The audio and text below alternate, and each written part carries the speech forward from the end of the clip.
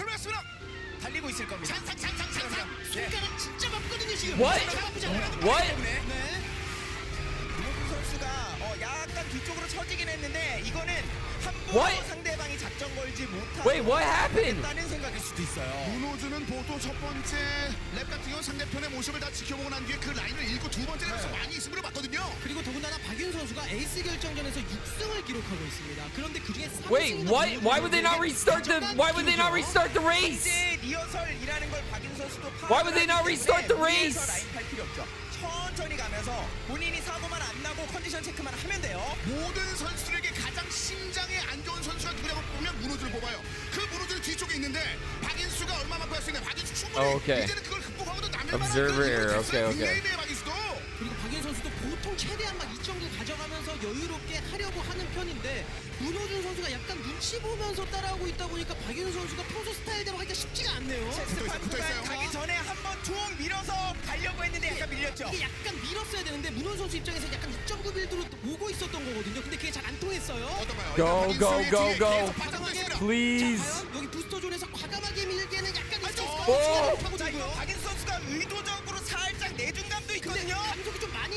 여기서 최대한 탄력 붙이는 거 아니면 돼요. 자, 김정진 라인 좋아요. 밀어내야 돼요. 터졌어요. 자 과연 여기서 박인수가 이 무너질까요? 부스터 잡았고 No, no, no, no. Yes! Let's go! Yes! Let's 이게 go! 문호준입니다. 이게 에이스 결정전의 문호준이고 어. 한화 생명의 저력이네요.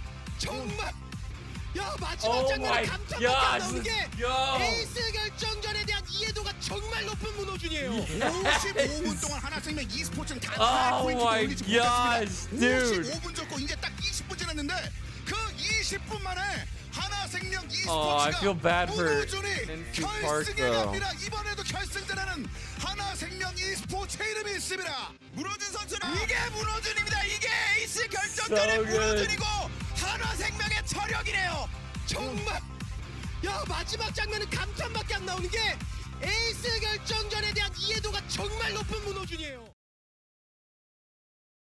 Dude, oh my gosh, I'm such a baby, man. I have like tears in my eyes. I'm not even kidding.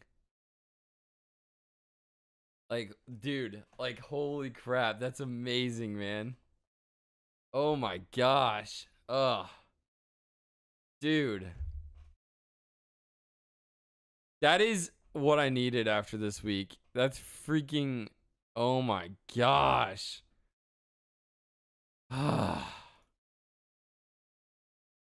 Holy crap. Man. Dude. What a race.